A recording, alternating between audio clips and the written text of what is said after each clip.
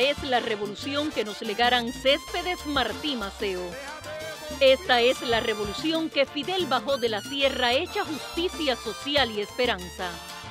Esta revolución única cumple 65 años sembrando beneficios sociales. Abracémosla con el amor y el agradecimiento que merece. Esta es la revolución.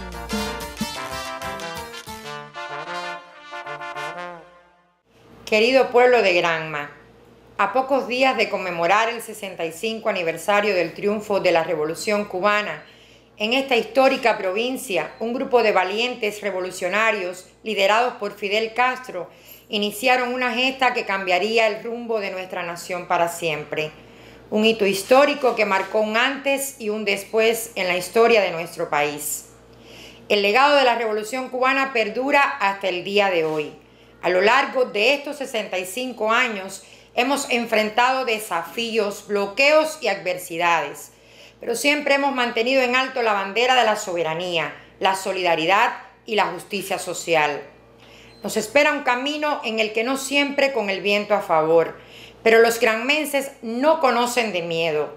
Sigamos adelante con determinación y unidad, enfrentando los desafíos con valentía y creatividad, construyendo el futuro con la misma pasión y convicción que guiaron a nuestros fundadores.